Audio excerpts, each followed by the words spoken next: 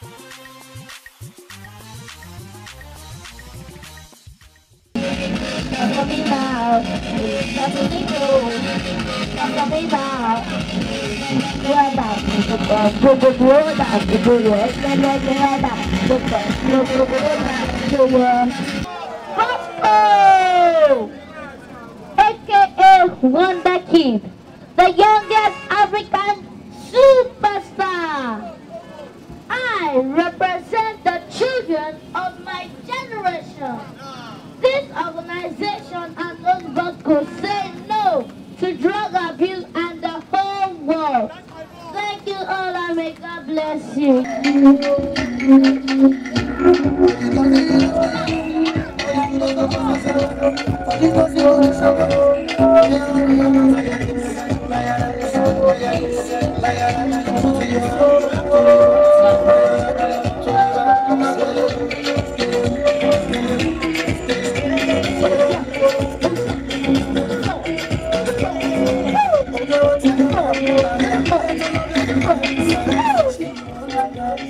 My name is Lamboginny. Um, this is the first time we're going to have a musician lead a campaign against drug abuse. Right now we're in Obalende bus stop.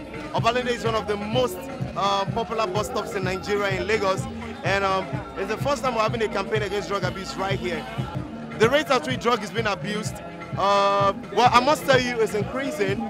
It's increasing, but um, with events like this and coming out publicly to campaign against it, I know for sure drug abuse will be reduced in the community. As ambassador for NDLEA about this, uh, what are efforts you can mention about uh, what NDLEA has been able to do over the years to curb drug abuse? Um, NDLEA has been doing a lot over the years. Um, like you all know, um, they've been campaigning gradually here and there with seminars, little, little way they've been campaigning and all of that. Um, they've been arresting victims of this um, abusive substance. And I must tell you, um, partnering with um, a musician, Lamboginny, is also a way forward to the campaign. So um, this is the beginning of change, and the change has started.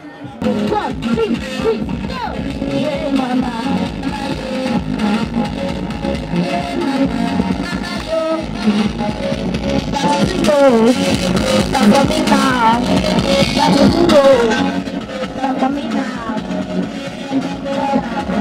Portanto, manda.